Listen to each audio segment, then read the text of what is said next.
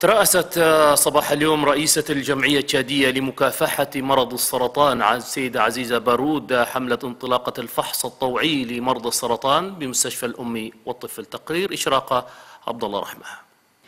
إن مرض السرطان يعد من الأمراض المستعصية والخطيرة التي تفتك بحياة الإنسان غالبا ويظهر نتيجة لنمو خلايا غير طبيعية وبشكل غير محدود ويسيطر عليه في الجسم وكذا تهاجم الخلايا المجاورة أو البعيدة في الجسم وتدمرها سيما جميع أعضاء الجسم إذا لم يتم اكتشافه والقضاء عليه. لذا جاءت الحملة التوعوية للفحص الطوعي لمرض السرطان بمستشفى الأم والطفل لشريحة النساء والفتيات وبهذا الصدد تحدث أخصائي أمراض النساء بمستشفى الأم والطفل بأن مرض السرطان لا يميز بين فئة عمرية صغيرة أو كبيرة وحتى الجنين في بطن أمه.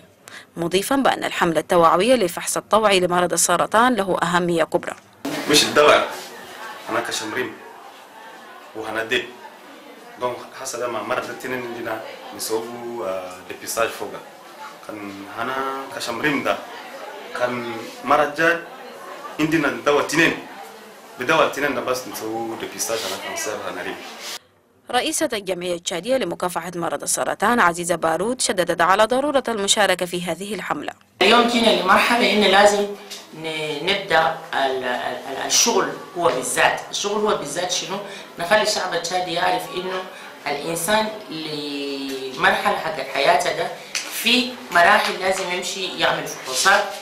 مبكرة. كل ما زول مشى بدري عمل فحوصات كل ما يزيد الحظ حقه إنه يتعالج. علما بأن الحملة التوعوية للفحص الطوعي لمرض السرطان تشمل مستشفيات العاصمة جمينة وكذا أقاليم البلاد.